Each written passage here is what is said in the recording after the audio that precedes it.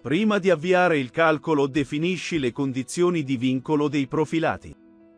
Selezioni l'oggetto vincolo e lo applichi ad una delle estremità libere del profilato.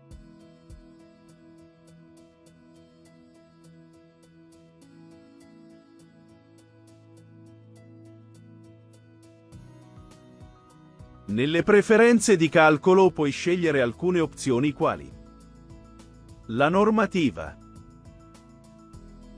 i parametri per le verifiche di saldature e piastre,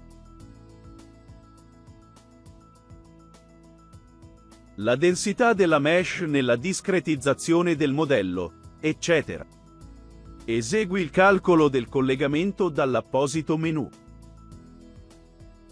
Puoi eseguire il calcolo per ogni singola fase, modello, sollecitazioni, verifiche.